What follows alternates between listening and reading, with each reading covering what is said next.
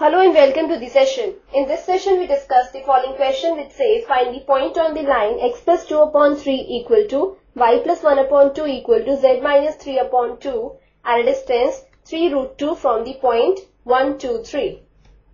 Before proceeding on to the solution, let's see how we can find distance between two points. Consider a point A with coordinates x1, y1, z1 and a point B with coordinates x2, y2, z2 then the distance between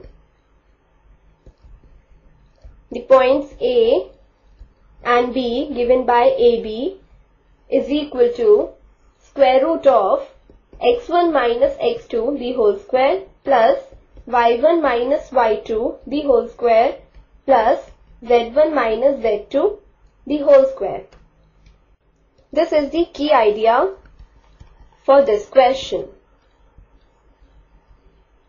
Now let's move on to the solution. The given line is x plus 2 upon 3 equal to y plus 1 upon 2 equal to z minus 3 upon 2. Let this be equal to say lambda. Let this equation be equation 1. Next we have coordinates of any point on line 1 is given by substituting each of these expressions equal to lambda. That is, we have x plus 2 upon 3 equal to lambda. This would give us x equal to 3 lambda minus 2. y plus 1 upon 2 equal to lambda gives us y equal to 2 lambda minus 1. Then z minus 3 upon 2 equal to lambda gives z equal to 2 lambda plus 3. We take this point A with coordinates 3 lambda minus 2, 2 lambda minus 1 and 2 lambda plus 3 as a point on the line 1. Now the other point given to us is 1, 2, 3. Let this point be point B. Now in the question it's given to us that the distance between the points A and B that is AB is 3 root 2.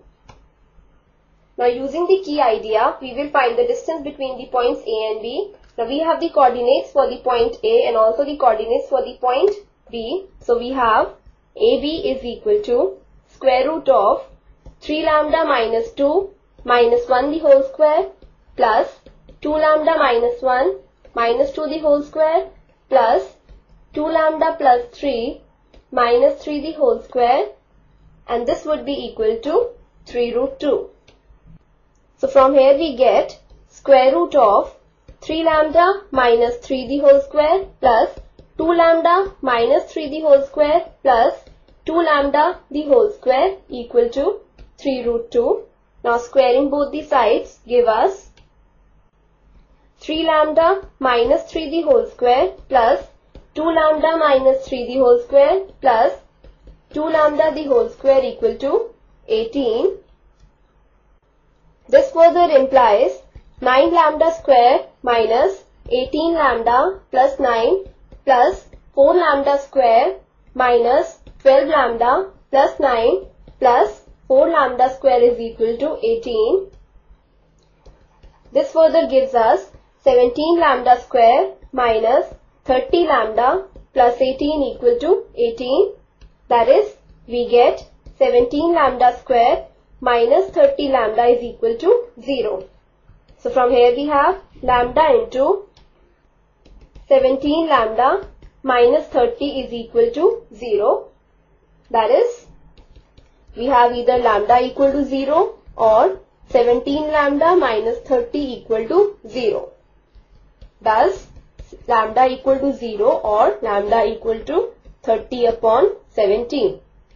Now we have a point A with coordinates 3 lambda minus 2 2 lambda minus 1, 2 lambda plus 3. Now we substitute lambda equal to 0 and also lambda equal to 30 upon 17 1 by 1 in the coordinates of this point. So for lambda equal to 0 we get the coordinates of the point A as 3 into 0 minus 2, 2 into 0 minus 1, 2 into 0 plus 3.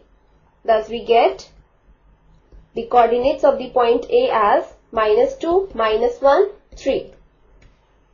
Now we take lambda equal to 30 upon 17 in the coordinates of the point A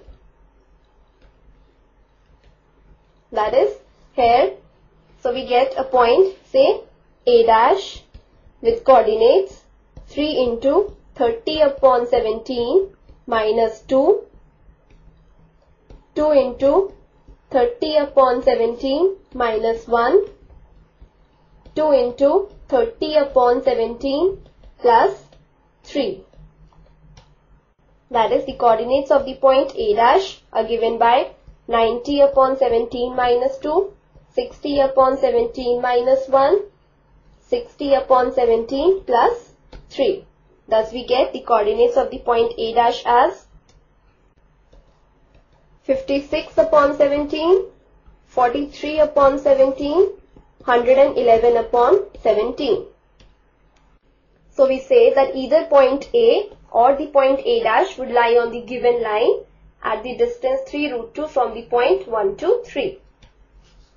So we have either the point A with coordinates minus 2, minus 1, 3 or the point A dash with coordinates 56 upon 17, 43 upon 17 and 111 upon 17 lies on the given line